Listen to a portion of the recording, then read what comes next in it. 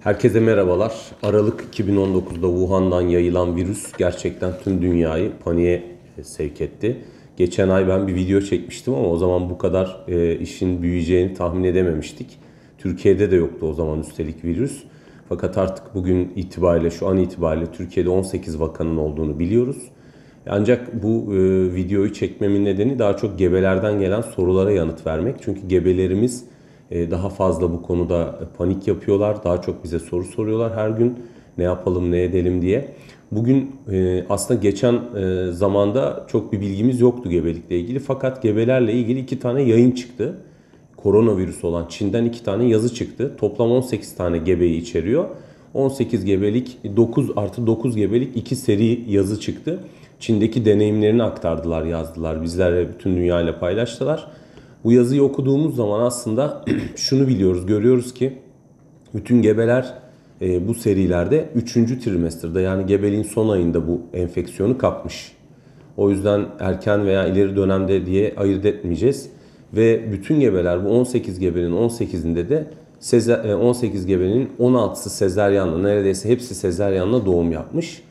Ve e, gebelerin bir kısmında erken doğum olmuş. Fakat yine de e, gebeliklere baktığımız zaman biz e, tüm gebelerde neredeyse %100'ünde yine öksürük ve ateş şikayeti yani gebe olmayan kadınlardaki gibi aynı şikayetlerle hastaneye başvuru olduğunu görüyoruz. O zaman buradan çıkarılacak ilk ders eğer öksürük ve ateş varsa bir gebelikte koronavirüs açısından mutlaka değerlendirilmesi gerekiyor. Bu bizim için çok önemli. Diğer yandan e, özellikle gebelere baktığımız zaman en çok sorulan sorulardan bir tanesi de anne karnında bebeğe koronavirüs geçiyor mu? Geçmiş tecrübelerden SARS'tan da MERS'ten de gördüğümüz üzere e, anne karnından e, bebeğe geçiş olmadığını biz biliyoruz. Gebelik acaba gebe olmayan kadınlara göre koronavirüs açısından daha mı e, yatkınlar enfeksiyon kapmaya? Hayır böyle bir şey ispatlanmış değil. Gebelerde gebe olmayan kadınlar gibi enfeksiyonu kapabiliyor bunu biliyoruz. Peki koronavirüs e, olan bir hasta emzirebilir mi? Bu konuda da çok ciddi bir data yok ama eğer bir bebek doğmuşsa koronavirüslü bir anneden o bebeği mutlaka izole edip daha yoğun bakımda değerlendirmek gerekiyor. Ve eğer e, emzirmesini de aktif enfeksiyonu yenene kadar ertelemek gerekiyor. Fakat yine de bunlarla ilgili elimizde veri çok az.